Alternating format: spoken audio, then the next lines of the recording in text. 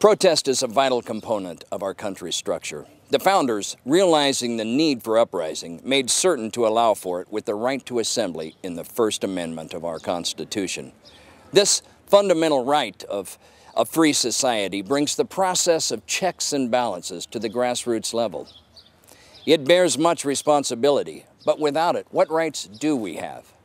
Let's remember to exercise that right.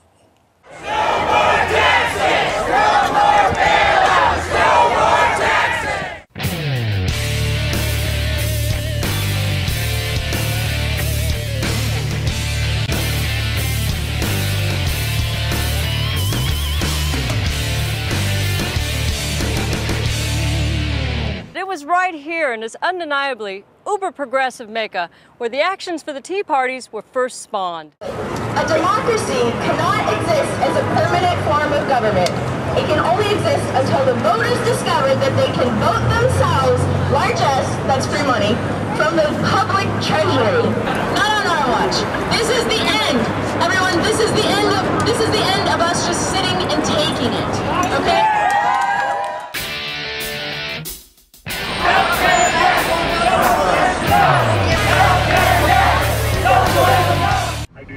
think they are protesting their obligation to financially support uh, the, the government of this nation. What they are protesting is the massive expansion of that federal government into every aspect of their lives. This is some wild-eyed plot to impose huge government in every aspect of our lives.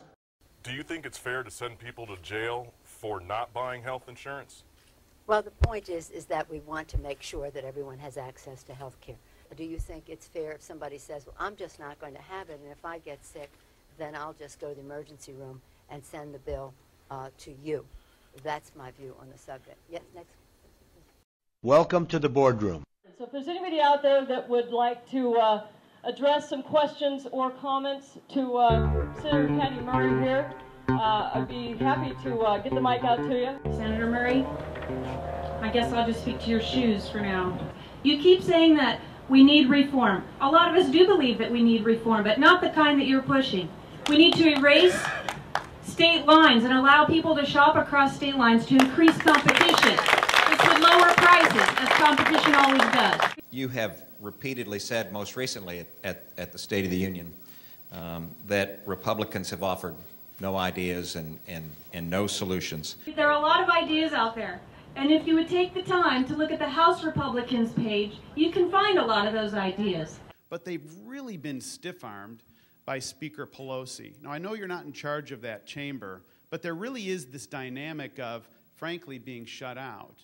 Our approach would preserve the right of Americans who have insurance to keep their doctor and their plan. That's great politics. It's just not true. If you look at the package that we've presented.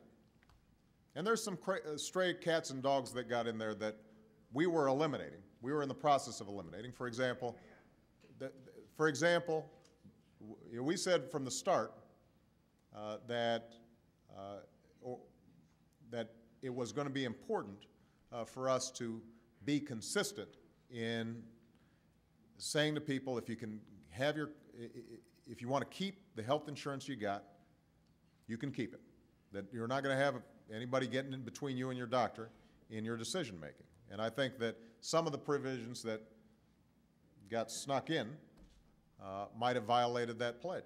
I keep hearing you say that if you have insurance and a doctor you like, you'll get to keep it.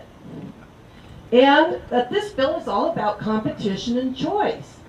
But I hate to tell you, Senator Murray, I've read the bill. And I think that some of the provisions that got snuck in uh, might have violated that pledge.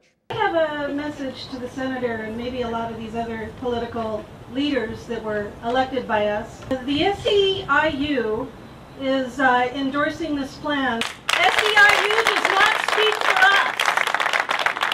I, as a union member, want to work with my union and my employer, and that is where I want the choice not with government. And it was individuals working as a union that brought us so many of these great health care plans that we have. Teamsters is one of the top unions in this nation. you'll see it die. You're taking all the strength out of the individual and the union by coming up with this government plan.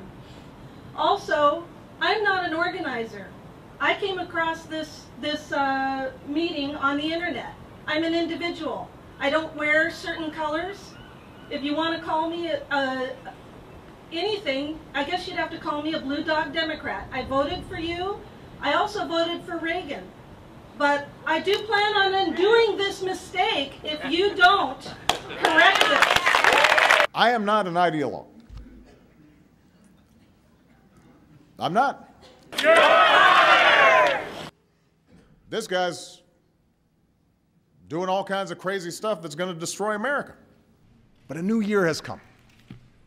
A new decade stretches before us. We don't quit. I don't quit. You're fired.